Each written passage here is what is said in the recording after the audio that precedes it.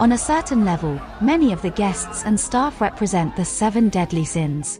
Julian and his staff represent wrath at the people who come to them for the status rather than out of any enjoyment of the food. Lillian can be seen to represent envy, as she destroys other restaurants out of her own inability to cook such things herself. Julian's mother is Sloth, as she never did anything to protect him or stop him. George's greed is shown in him taking stupid film roles for the paycheck. Richard is lust for his association with prostitutes and younger women.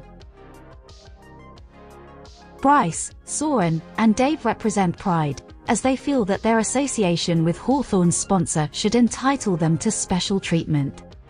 Tyler is a representation of gluttony, as he gorges down the food and doesn't actually know as much about fine dining as he claims.